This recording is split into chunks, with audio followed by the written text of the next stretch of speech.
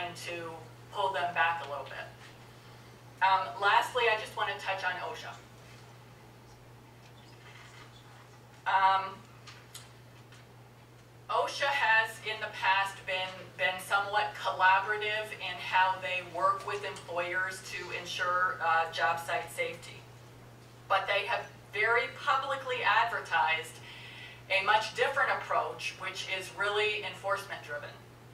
Um, they're focusing on finding worksite violations and issuing substantial fines instead of working collaboratively with us as employers to promote the overall safety of, of our workplaces.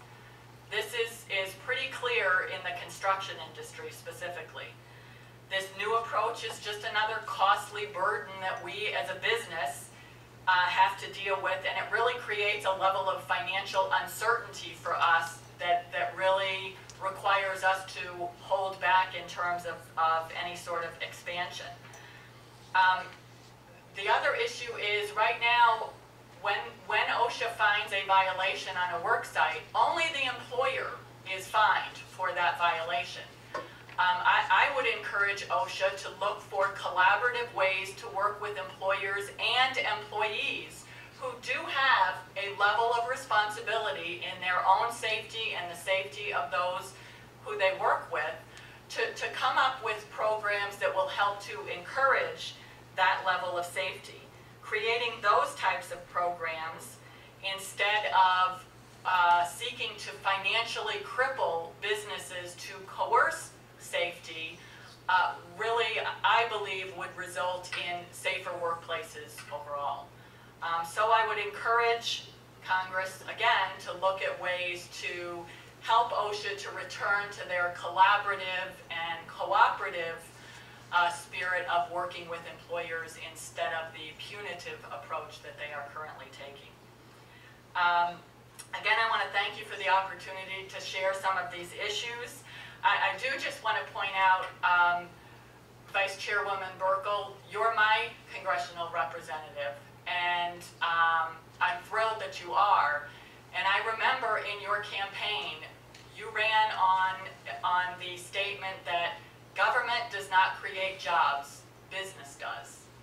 And, and it really is paramount that, that government realize that they are there to create the type of environment that we as businesses need to grow and prosper and contribute to the economy.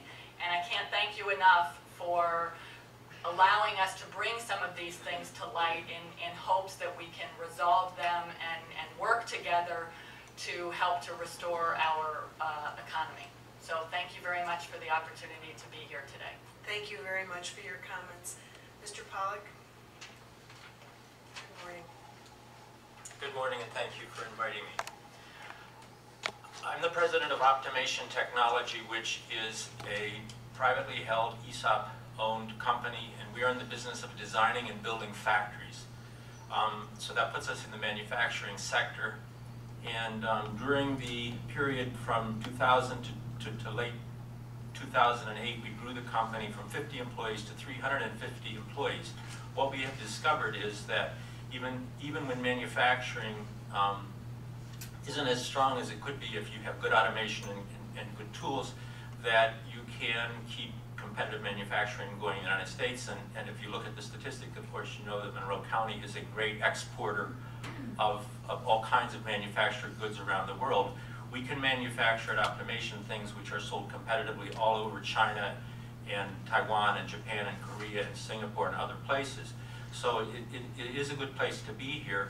Um, the difficulty, as you've asked us to talk about, is what is the government doing to hold us back? And um, that's what I'd like to talk about a bit today. I can remember distinctly the morning of July 12th of 2010 and that was the morning I came into work early as usual, ready to get going. And um, I opened my mail from the day before, and there was a registered letter there from the Department of Labor, the U.S. Department of Labor.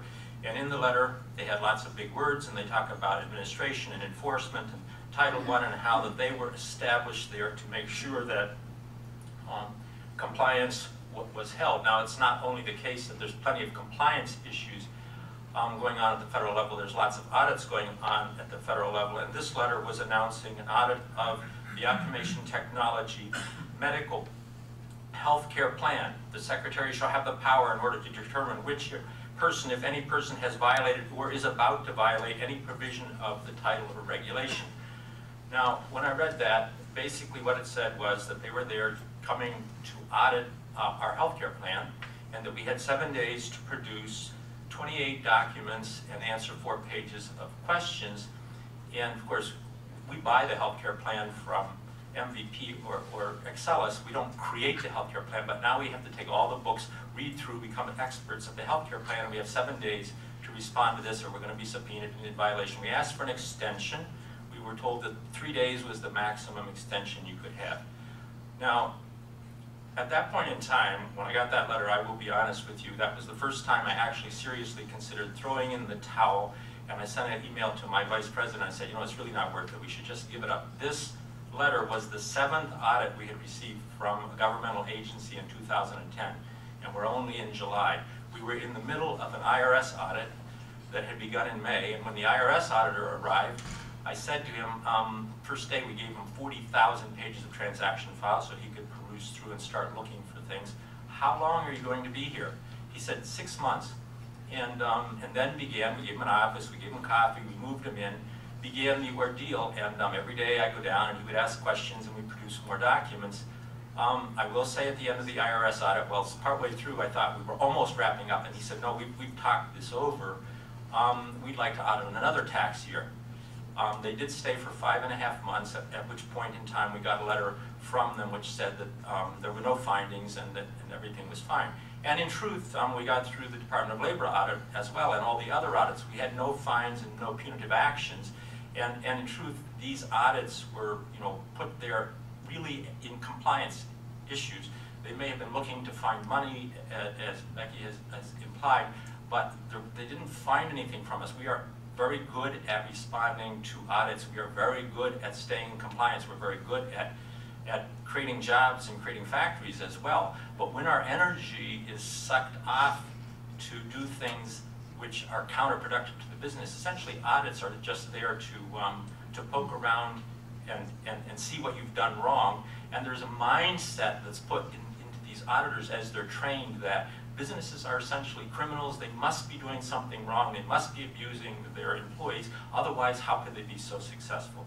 And, I'll tell you that the reason we are successful is because our employees have my back all day, every day, and they do double and triple and quadruple what anybody would ever even consider reasonable um, in order to maintain the company. But we have to deal with the Department of Labor, and, and these are at the state level, of course, as well as the federal level, with the IRS, with ERISA, with healthcare, with 401k audits, with ESOP audits, with the Census Bureau sending endless forms to be filled out um, under penalty if you don't, with OSHA and other regulations. Sarbanes-Oxley has, has lowered down to very, very small businesses. We hire two accounting firms, one to provide counsel so that we can make sure we're in compliance when the audit firm comes in.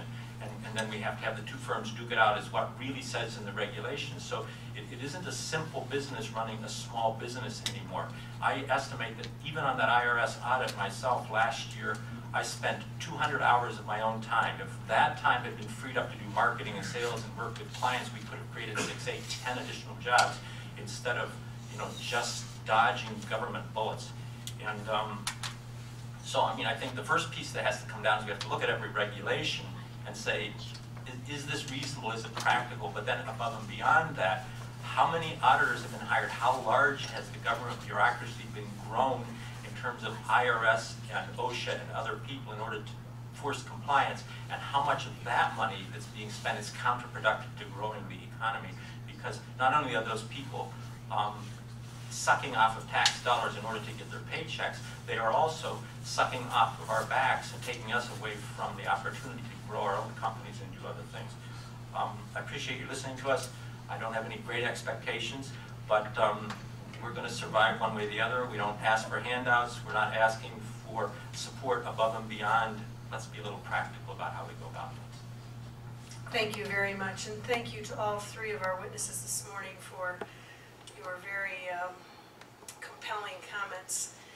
We, we have had a number of these hearings in, down in Washington DC, and I have been so, and I know my colleague, Mr. Kelly as well, have, we've been so profoundly affected when you listen to a group of witnesses who have run small businesses, and the question was asked to all of them, if you knew now what you, if you knew then what you know now regarding regulations and all of the impediments to job creation, would you have gone into business and would you have, would you have done what you've done? And each one of the members of that panel said, no, we would not. And so we have reached a point in this country, and when I listen to your testimony, Mr. Pollock, what you went through with all of your audits, we begin to wonder what's happened to the United States of America and our free enterprise system and our capitalist system, where we have an understanding that the government can't create jobs. It is the private sector, excuse me, it's the private sector that's gonna get this economy back on track. It's the private sector that does the the job hirings and expands businesses and buys more equipment and improves their technology. So I wanna tell you that, uh, this subcommittee and our entire Oversight and Government Reform Committee is committed to doing that, to, to recognizing and understanding the impediments that stand in the way of businesses and their success. And we will do everything in our power to help small businesses do what they do best, and that is to create and grow a business, to work hard and be successful, because that's the American way, and that's, that's the American dream for, uh, why many of you have gone into business. So um, with that, I would just like to uh, talk a little bit about your testimony, and then, um, so I will, um, I'd like to just start with the same question to all of you, um, whether or not you would be in this business if you knew now what you, uh, if you knew then what you know now. You can all answer and you can start. uh, Sure. I mean, the answer is yes, I would. Um, and, and really the rewarding part is, is the employees in the, in the company team. I mean, everybody needs jobs, and if I can be a catalyst to help that happen, then I'm gonna do it. Thank you. Um, well, I, I, I am not the company owner actually, but I'll speak for him. Um, and I, I don't think that he would, would not be an owner of a business simply because of the ability that being a business owner allows you to contribute to your overall community through job creation and, and things like that. I think we as a company are very proud of what we do. Um, we're, we're just looking for some assistance in making it a little easier to do what we do. I think many people involved in small business are survivors and very creative and they're entrepreneurial and that's why they're doing what they're doing. So certainly, no matter the odds, uh, I think most would attempt to be successful. Uh, As the odds are stacked against them or uh, the, those that actually are successful become fewer and fewer. And certainly the migration of manufacturing jobs overseas in this country is, is appalling. And certainly manufacturing can be profitable and it can grow in this country. And, uh, but we have to have some uh, fortitude and we have to have some policies that help support that. Because manufacturing jobs are really generate on the order of seven other jobs. Once they're here, they're high paying, Optimax has high paying jobs. These are career jobs, you have cars, put your kids to college, those types of things. And uh, they're not all gone, they are here and they're actually growing. But we have to uh, uh, support that and it's not, we are not the adversary. And the adversary is the global market space and we're competing against countries with policies that make it very easy to manufacture.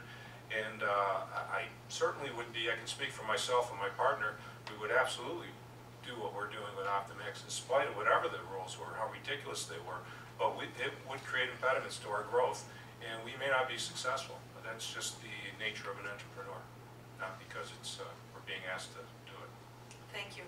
I, I just do want to comment, Mr. Pollock, um, if this gives you any peace of mind, the uh, continuing resolution that we voted on last week um, did stop the IRS from hiring 10,000 additional employees, so we were able to defund those positions. Thank you. Uh, With that, I'll uh, yield my colleague, Mr. Kelly. Uh, Thank you, thank you, Chairman. Uh, Mr. Mandina, I, I think it's important because the general public uh, doesn't understand what we go, I'm an automobile dealer, that's what I've done for a living and Somebody asked me two years ago, would you be in Congress? I said, absolutely not. I'm too busy raising my family and running my business. Uh, So I have a little bit of an idea what it's like to deal with OSHA and, and everybody else that comes into our business that has absolutely no investment, but is a partner that we really don't need to have on our back. Uh, This, this ITAR, because I've talked to other people in the same, in the same type of businesses, kind of walk us through what ITAR is and what you have to do in order to compete and why it makes it so difficult for you. If a foreign, uh, if a firm in a foreign, uh, land who's not on the list, um, uh, um, if they're not on the list, it's fine, but most countries are on the list, so Israel, I thought, is on the nation, they're on the list. So, When you, when you, explain what the list is. the list is now, puts you to another, uh, list of, uh, questions that you now have to go and process. And this is for, this is for, um, we're an OEM manufacturer, so we quote things. So we win about twenty-five percent of what we quote. So, uh, we now have to decide if we want to quote something. And, uh, so anyway, there's a process, and I have to decide whether you want to do the work on seventy-five percent of the of the inquiries that you know you're not gonna win. So if it's Israel, uh, we now have to look at, go through the list and ask questions about what is the use of this object. So we have to go to our customers. And in the technology space, a lot of times they don't want to tell you because it's competitive information. You have to say, what are you using this for? What's the end product? Uh, who's your customer? It's going to another customer. Who's your customer? What country are they in? What are they putting it in? That's kind of ridiculous. But the idea is, if you would, because most people don't understand this, the idea is, at the end of the assembly, this product could possibly uh, be, be it, uh, used by a terrorist country or be used in a military fashion, right? So you're responsible for every little piece that goes out somewhere into the world as to finding out where its actual end use is going to be. Is that, is that a, a, a That's Correct, correct. okay. An example uh, of that could be that it goes into a laser welding machine uh, that is uh, made in France, going to be sold to uh, uh, China, and uh, you can use laser welding equipment to uh, make uh, uh, weapons. And so, and so that's, uh, uh, it- it's, it's, if you just draw the dots, everything goes everywhere. If it's, so it's like, well, ultimately, you can make weapons with a lot of things. You know, you need rubber bands to hold the paper together. Uh, just, where do you stop? And so, uh, you go through that, you ask those questions, you go back and forth to in- intimidate your customer and make them feel like they're having to divulge information they don't want to give you. And then you uh, quote the job, uh, if, if, if they, if you think it's, well, then you can't actually get the license for it um, until you get the order. And then once you get the order, you then go and ask for permission to sell if they're on that list. And they can say no. And so, and it takes four weeks. So meanwhile, you've gone through the whole dance of going back and forth, you've done the bid, you somehow miraculously got an order. Uh, They have to wait to see if you can move on the order, or you have to wait till you can move on the order. And uh, then they can say no. So meanwhile, your customer has gone eight weeks through a cycle and uh, have to start over again because the US government said that this manufacturer could not sell this to you. And, and so the, uh, uh, it's, in how they make the decisions about what they, you can sell and what you can't, I really have no idea. And it's, it is an absolute crapshoot, and I, it, it, we have decided, we, we do almost twenty million dollars worth of business a year, we do almost zero overseas, because, and we could sell overseas, we get inquiries all the time. And we said no, because we don't want to have to deal with the government, the uncertainty of the government, it takes way too much extra work on our end, and so it's a, it's a, we're probably five million dollars worth of business a year that we're just turning our back on because of it. What, what, uh, what agency do you work with this? Who, who is responsible for the ITAR? Is it, who does it go through? Uh, it's, I know it's the Department of Commerce or the, uh, Well, there's a lot of them, I know it's hard. yeah, I, I'm, I'm sorry, it's, we, I'll tell you what, I was really fresh on this a year and a half, two years ago, we decided not to do this. And so, uh, and, and I, we, we, uh, uh, because we're not doing it, uh, it's, it's out of my mind, and I'm into growth in, in the domestic market space. Yeah, And I think the, uh, the bottom line of this whole thing is because you're in a business that you have an opportunity to sell a certain product or pieces for a product that's going to be assembled. You now have, because of, of this overreach, have decided not even to bid that business. Exactly. It's not worth the aggravation. I would assume that in, like everything else in business, time is of the essence. The process you have to go through would be a lot different than maybe a foreign competitor would have to go through. And plus, waiting for the licensing, waiting for the okay, it's just better for you. It's, it's the old story, you know, don't worry about the mule, just load the wagon. And I think at this time, the mule's about ready to walk away, so, excuse me, but I, I appreciate your, your testimony, and I gotta tell you, the American public really has absolutely no idea what you're going through on this. Not only what you're going through with ITAR, but the other regulations. I think that's the one thing that we're finding out on a daily basis. That we have to find some way of amplifying this problem so that people understand, this isn't just you coming here and complaining because you can't compete. You're coming here and talking about the situation that makes it impossible for you to compete, and unfortunately, it's your own country. So I, I appreciate your. If I can add one more thing, there's another part to that restriction, has to do employment. We had, uh, we had 130 people working in, at Optimax, and one was a part-time consultant Canadian. Because that person did not have a green card and was not a US citizen, uh, we had to put locked cabinets and create a whole, uh, infrastructure of security for this dangerous Canadian consultant that we had working. And um, otherwise, we're in violation. The Canadian quit because she didn't feel it was appropriate that we go through all that expense in order to keep her employed. So, um, and now, most companies in, in technology, manufacturing companies will not hire anyone who does not have a green card or is a U.S. citizen. There are a lot of very smart people who are, who don't have green cards, are not U.S. citizens, that could really help generate wealth in this country that we can't hire because we would have to put these infrastructures in. So, and it's, and it's most technology manufacturers, certainly in optics, and many machine shops and uh, other places, are, do some level of defense work. And if you do some level of defense work, you have this other barrier now that's in place. So th- there's a lot of cost around this. I understand the reason for it. There is, certainly there's reasons before it, but the, the, the, the way it's structured is so ridiculous, it's actually impeding US export. I have friends in, in Meadville that do the same thing, and, and they're going through the same process and, and the same problems. But I think what, what really disturbs all of us is, who is it that makes up these lists? And what's the criteria for somebody being on the list or not being on the list? And it would be like me selling a car, and before I sell the car, I'd have to ask that person, is there any time in the future that you think anybody could possibly be getting in or out of this car that could maybe be a problem for the country? And if, if I couldn't answer that, I couldn't sell the car. So I, I really, I get it, and I, and I gotta tell you, it is the scope of overreach and over-involvement that's killing all of us. So I, I appreciate, please, don't give us, up- don't give us up up on us. We're, we're not gonna quit until we get it fixed. Thank you. Thank you all very much. Uh, I have one last question, then I'm not sure if you have anything left. Yeah, I did want to ask Ms. Smikey, Oh, you, go ahead, I'll yield it. you know, and I know, uh, right now, because of the events in Wisconsin and around the country, there's a renewed uh, interest, and, and often it's become too polarizing between organized labor and the private sector, and, and I think that that's done a tremendous disservice to both sides. And I would certainly think that, we're, we're interested in, and I gotta tell you, I have friends on both sides of it. I have friends that do both.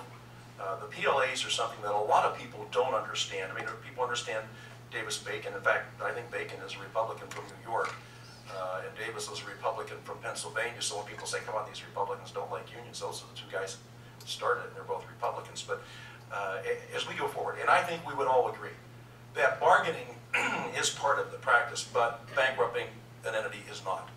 And if you can, because I know you're very concerned, and I read your, your testimony with the PLAs, explain a little bit what that does to you and your ability to bid on a job. You can bid a job using Davis-Bacon, but with the PLAs, that's a, that's a little different. That's more exclusive, is it not? Or exclusive? That's correct. Um, in, in fact, if we do bid a job that is a federal job, we're required by law to follow Davis-Bacon rules, which, which in essence means that we're paying union scale wages and benefits. And, and the whole principle, of course, behind Davis-Bacon was to level the playing field, if you will, from a wage standpoint. Um, so when, when we bid and perform work at the federal level, we do pay Davis-Bacon wages. Um, you don't need a PLA to level the playing field from a wage standpoint because you already have Davis-Bacon, or if we're talking New York State, we have New York State prevailing wage. A PLA, literally, as I said in my testimony, tells me that I cannot use my own workers. And, and quite frankly, we have crews that are um, supervised by very experienced foremen who work with these people day in and day out. They develop processes and procedures to make us the most effective and um, cost-effective contractor that we can be. And when we have to put uh, people who have absolutely no vested interest in the success of our business, and in fact, have a vested interest in the uh, shutting down of our business to eliminate us as competition to their signatory contractors. I, I- mean, it's, it's kind of like asking me to swim through a, a pool of alligators and hope I don't get bit. I- You know, it's, it, it's ridiculous, and, and I will honestly tell you that if we see PLA language in a bid, we aren't gonna take the time to even bid it. Can we bid it? Absolutely, we can, but it sets up a scenario that from a business standpoint is completely and utterly impractical for us. So we close the specifications and we throw them in the garbage. And unfortunately, that takes away opportunities from our current employees and takes away our opportunity to grow our business as a, uh, using taxpayer-funded projects to do it. Could I, could I If I could comment on that sure. as well? Sure. Um, we like, we like, um, Radec are a non-union contractor. We have over, um, two hundred journeymen. We have a New York State Certified Apprenticeship Program where we're bringing up, um, twenty-four young men and women into the trades. We're one of nine out of a hundred and something apprenticeship programs that's non-union in New York State. And we're one of the others. And, um, you know, our, our principle and practice based on the regulations is that we simply do not bid any governmental jobs, whether they're local, state, or federal. Um, we, we, find our business entirely elsewhere because the compliance issues are immense. It's not that we couldn't do it, it's just that it's not cost effective to stay in line. And, and in truth, every single, um, governmental job that we've ever done, someone has guaranteed that we were audited. Um, the time spent was pretty humongous, and, and, and so we backed away from it. So our position maybe is different than theirs, but, but similar. We just find other work. And, and we do as, as well, but quite frankly, in this economy, the private sector has not been um, building as much as, as they used to. So in many cases, we're forced to look to markets that we might otherwise avoid simply to stay in business. And the other thing, if you would just comment briefly, because I've been through OSHA uh, uh, audits, uh, and again, it comes down to the public's awareness of what these mean. And I would, I've always been a little bit disappointed, I've been through some MSHA uh, reports, and and I've looked at it. Remedial action would be something in my mind, if you find something wrong in my workplace, I want to make sure it's safe for my guys. Uh, One of the things our guys are supposed to wear, if a car's up in the air, they're supposed to wear a hard hat and goggles.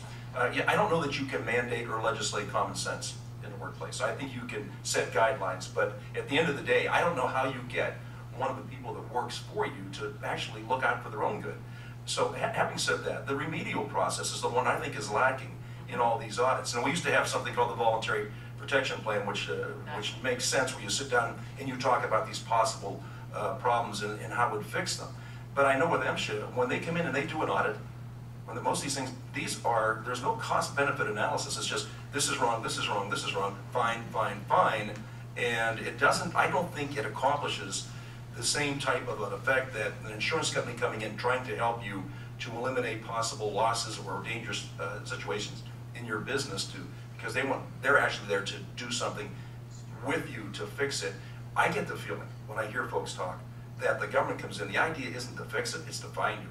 So let me know, am I, am I reading this wrong? I- I'm, in my little corner of the world, You're I knew it reading it like. exactly correctly. In, in fact, you know, I, I will tell you that, um, we recently had an OSHA inspector show up on one of our job sites. And, um, you know, this is an OSHA inspector that we have seen on other job sites. And, and you're absolutely correct. As an employer, safety is paramount to us. You know, we want to make sure that every one of our people goes home every night to their family. Nothing is more important to us. Um, we had an OSHA inspector who has been on a number of job sites, and, and we are a very safe contractor. We do not have a lot of issues. Um, but this OSHA inspector confided in us that the directive from above, from Washington DC, is that these inspectors are to go onto job sites and find violations that can result in fines. Be- Because, my understanding is that it's because OSHA is sort of self-funding, and they, and they need to generate the revenue to support all these additional inspectors and things that they have decided um, will be their approach to safety as opposed to the programs like the VPP program and, and things like that. So it's, it's a complete reversal from, quite frankly, what OSHA used to be in terms of being a collaborative agency. They are now simply looking for ways to generate revenue. And, and it, to my, to me, that's counterproductive. Thank you.